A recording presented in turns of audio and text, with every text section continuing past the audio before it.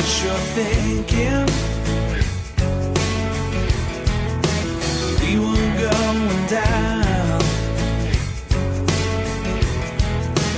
I could feel sinking. Kaksi vuotta sitten Toni Rajala allekirjoitti Edmonton Oilersin kanssa kevääseen 2013 ulottuvan NHL-sopimuksen.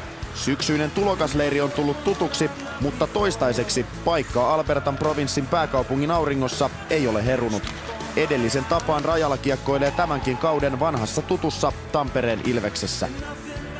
Se oli oikeastaan niin kuin oma, oma päätös periaatteessa, että tota, mulla on tässä kumminkin vielä pelivuosia jäljellä ja nuori poika kumminkin ja kroppa ei ehkä ole ihan vielä valmis siihen niin kovaa rumpaan mitä siellä on. Että tota, mieluummin täällä niin kuin halusin pelata ainakin vuoden vielä lisää ja tota, sitten vasta lähteä koittamaan sinne.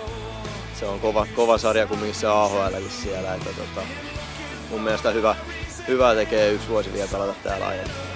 Nuoria lupaavia Ilveksiä Tampereella on viime vuosina riittänyt. Matiakset Myttynen ja Sointu muodostavat Rajalan kanssa päävalmentaja Juha Pajuoja nimeämän nallipyssyketjun. Hyvä, hyvä kenttä meillä on siellä nuori.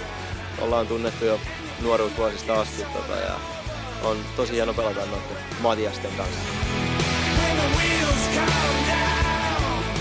Taitavalla hyökkääjällä on vielä kaksi kautta aikaa vakuuttaa kiekkopäättäjät Edmontonissa. Nappikausi Ilveksessä on nyt tilauksessa.